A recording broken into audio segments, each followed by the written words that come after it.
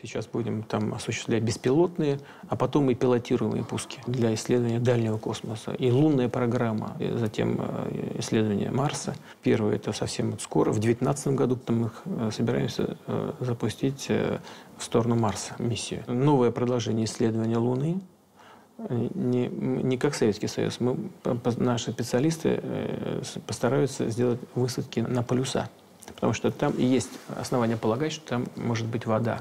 Вот, э, там есть чем заниматься. Оттуда может быть начато исследование других планет, далекого космоса. Как больница нравится? Космос. Заправлены в планшеты космические карты, И штурман уточняет в последний раз маршрут.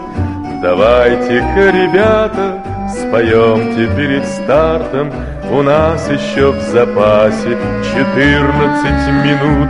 Я верю, друзья, караваны ракет Помчат нас вперед от звезды до звезды.